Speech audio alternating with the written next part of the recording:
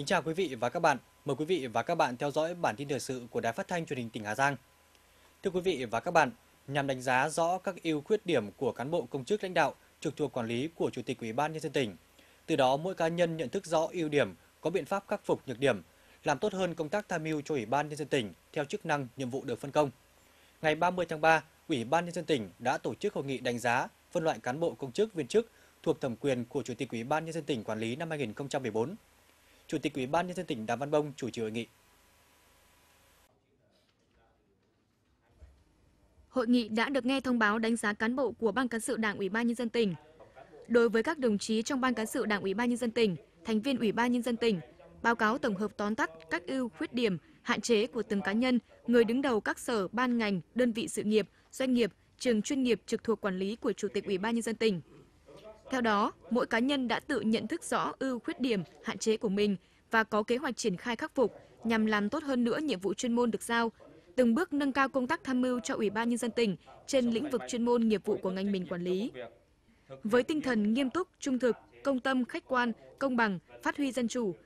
các đại biểu tham dự hội nghị đã phát biểu thảo luận, đóng góp ý kiến cho các cán bộ công chức, viên chức, người đứng đầu các sở ban ngành, đơn vị sự nghiệp, doanh nghiệp, trường chuyên nghiệp trực thuộc quản lý của Chủ tịch Ủy ban nhân dân tỉnh. Thẳng thắn chỉ ra các hạn chế, khuyết điểm của từng cá nhân trong công tác điều hành, xử lý công việc và công tác tham mưu cho Ủy ban nhân dân tỉnh trên lĩnh vực của ngành mình quản lý, giúp Chủ tịch Ủy ban nhân dân tỉnh có thêm cơ sở khách quan quyết định đánh giá, phân loại cán bộ thuộc thẩm quyền. Phát biểu tại hội nghị, Chủ tịch Ủy ban nhân dân tỉnh Đàm Văn Bông nêu rõ, đây là việc làm thường xuyên của Ủy ban nhân dân tỉnh để làm tốt hơn công tác phân loại, đánh giá cán bộ công chức, viên chức, những người đứng đầu các cơ quan, đơn vị trực thuộc Ủy ban nhân dân tỉnh quản lý. Chính vì vậy, Chủ tịch Ủy ban nhân dân tỉnh yêu cầu các đại biểu tham dự hội nghị cần nâng cao chất lượng, hiệu quả trong công tác tham mưu, tổ chức thực hiện và hoàn thành tốt nhiệm vụ, công vụ được giao. Trong đánh giá phân loại cán bộ, công chức, viên chức, đảm bảo thật sự công tâm, khách quan, công bằng, chính xác, không hình thức thiên vị, nể nang, bệnh thành tích hoặc né tránh vai trò trách nhiệm cũng như khuyết điểm của cá nhân, cơ quan, tổ chức, đơn vị, đặc biệt là người đứng đầu. Không lạm dụng việc đánh giá, phân loại để trù dập cán bộ, công chức, viên chức hoặc nâng cao quan điểm cũng như gây mất đoàn kết nội bộ.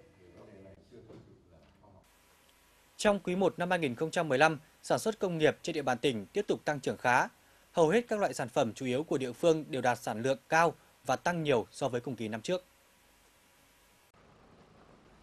Giá trị sản xuất công nghiệp trong 3 tháng đầu năm 2015 ước đạt 669,1 tỷ đồng, tăng 5,9% so với cùng kỳ và đạt 17% so với kế hoạch, bao gồm các ngành như công nghiệp khai thác mỏ, công nghiệp chế biến, sản xuất và phân phối điện nước, vân vân.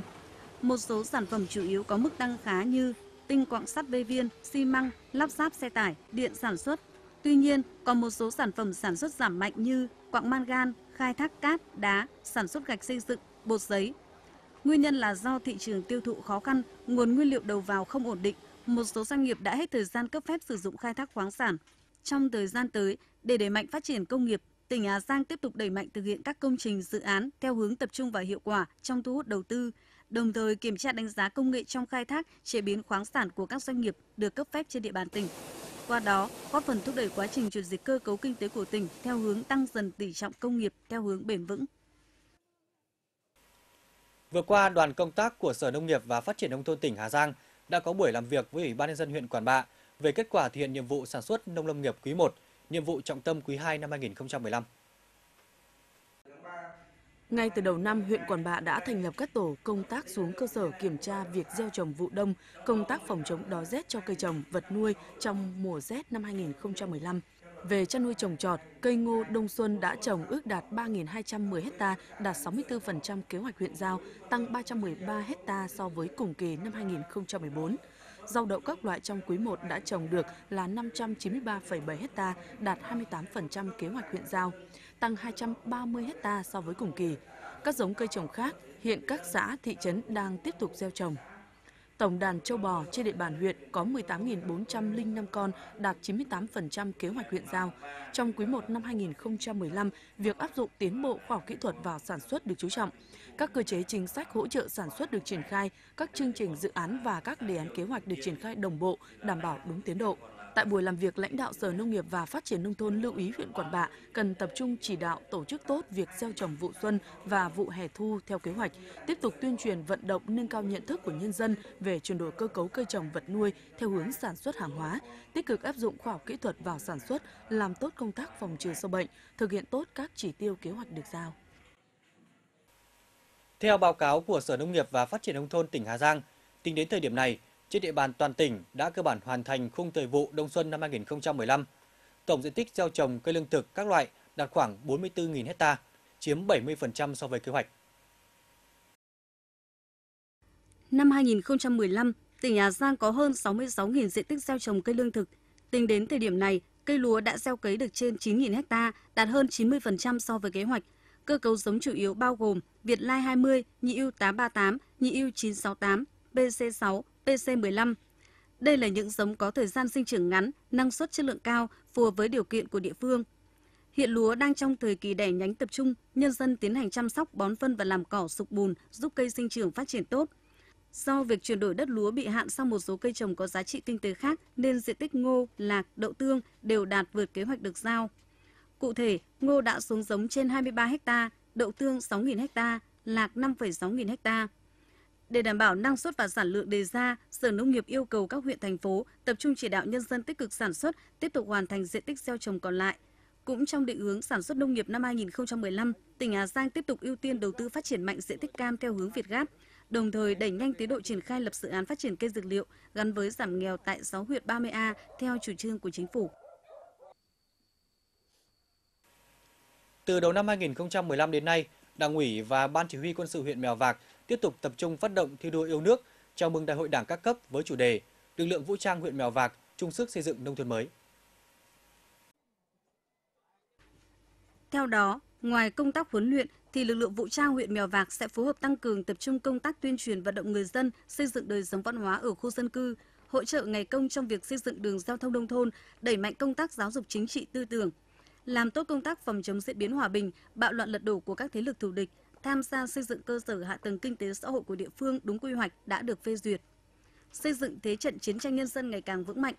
Bên cạnh đó, tham gia thực hiện tốt chủ trương chuyển dịch cơ cấu, chuyển giao kỹ thuật, nâng cao hiệu quả sản xuất, nâng cao thu nhập của người dân, góp phần thực hiện mục tiêu giảm nghèo, giải quyết việc làm của địa phương, thực hiện có hiệu quả công tác giáo dục, y tế, chăm sóc sức khỏe nhân dân, các phong trào công tác chính sách xã hội, vận động nhân dân thực hiện nếp sống văn hóa mới, tham gia xây dựng tổ chức đảng, chính quyền, mặt trận và các đoàn thể ngày càng vững mạnh, củng cố cơ sở chính trị địa phương vững mạnh toàn diện, phối hợp tham gia đấu tranh phòng chống tệ nạn xã hội, giữ vững an ninh chính trị, trật tự an toàn xã hội, xây dựng địa bàn an toàn vững mạnh. Nhằm khơi dậy tình cảm trong thiếu niên nhi đồng với Bác Hồ kính yêu và thi đua thực hiện tốt năm điều Bác Hồ dạy, hướng tới kỷ niệm 125 năm ngày sinh Chủ tịch Hồ Chí Minh. Ngày 29 tháng 3, Hội đồng đội huyện Vị Xuyên đã tổ chức hội thi chúng em kể chuyện Bác Hồ.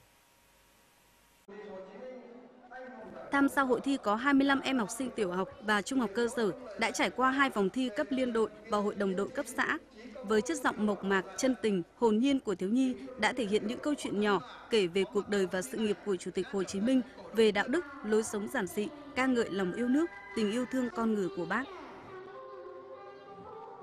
Đến tham dự cuộc thi, cháu xin được kể câu chuyện ba lần được gặp bác Hồ và chuyện, qua câu chuyện cháu nhận thấy được rất tín dạ dị và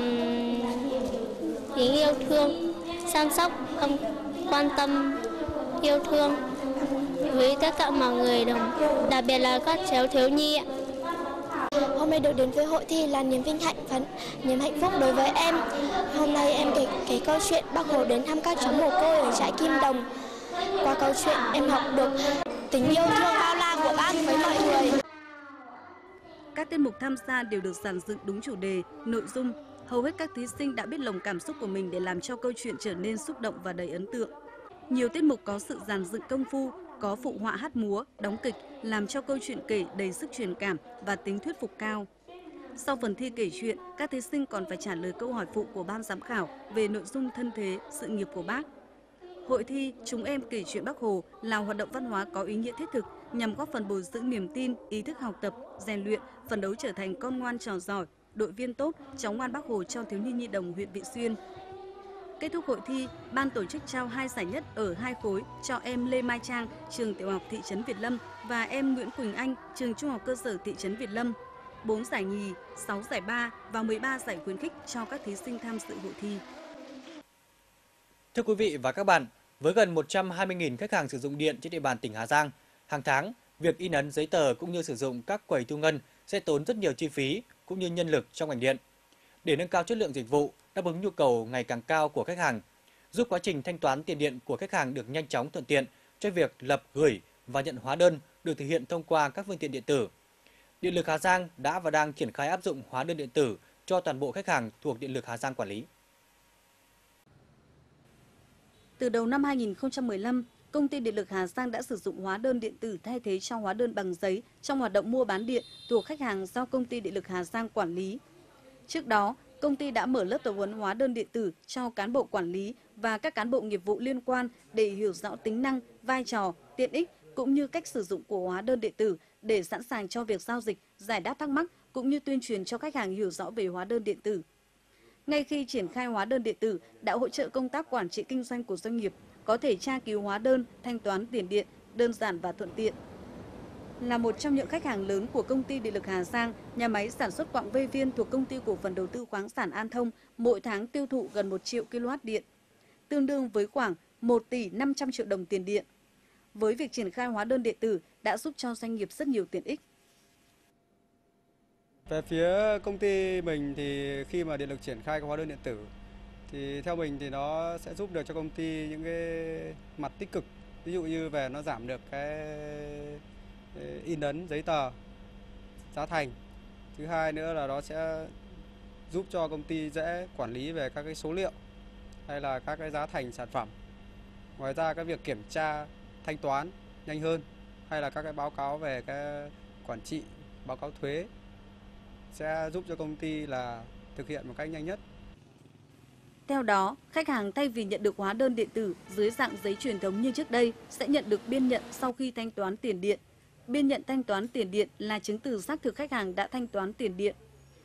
Khi áp dụng hóa đơn điện tử trong mua bán điện, lợi ích đối với khách hàng là thông tin hóa đơn điện tử được ngành điện chuyển thẳng lên website chăm sóc khách hàng của ngành. Khách hàng có thể truy cập, tra cứu bất cứ thời điểm nào Sử dụng hóa đơn điện tử, khách hàng không cần bảo quản, lưu trữ hóa đơn, tránh được thất lạc hóa đơn. Còn ngành điện giảm được chi phí in, gửi, bảo quản, lưu trữ hóa đơn so với hóa đơn giấy. Quá trình thanh toán tiền điện nhanh hơn. Bên cạnh đó, việc đối chiếu dữ liệu, kê khai, nộp thuế của các đơn vị ngành điện sẽ nhanh và chính xác. À, vì những cái lợi ích rất là lớn lao giữa bên bán và bên mua, đặc biệt là hóa đơn điện tử thì à, ngay trong tháng 3 này chúng tôi đã làm việc với à, ngân hàng nông nghiệp Hà Giang, ngân hàng à, đầu tư phát triển BIDV và ờ, ngân hàng công thương. Thì tất cả ngân hàng là đều rất là tâm đắc với cái việc là thu hộ tiền điện qua cái chương trình hóa đơn điện tử. Thì đây là một cái chương trình rất là lớn và cụ thể. Và tất cả đều có lợi trong vấn đề là thu tiền và quản lý đồng tiền. Thì đây là một cái chương trình rất là lớn và chúng tôi đã triển khai. Và hy vọng rằng là trong năm 2015 hóa đơn điện tử sẽ triển khai một cách đồng loạt và thứ hai là thuận lợi cho cả các đơn vị cùng tham gia vào cái nội dung này. Thời gian đầu triển khai hóa đơn điện tử thay cho hóa đơn giấy trong việc thanh toán tiền điện sẽ không tránh khỏi những khó khăn nhất định. Phần lớn khách hàng là các hộ dân, hóa đơn điện tử sẽ ít phát huy tác dụng. Tuy nhiên, việc ngành điện liên kết với các ngân hàng và với mạng di động Viettel để khách hàng có thể thanh toán tiền điện qua ngân hàng bất cứ lúc nào mà không cần qua các quầy thu ngân của điện lực hay chờ nhân viên điện lực đến thu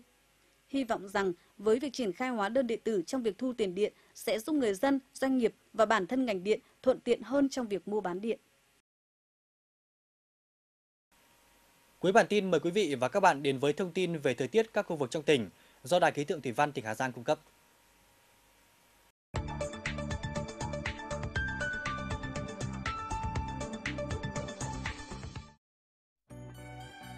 Bản tin dự báo thời tiết ngày và đêm 30 tháng 3 năm 2015.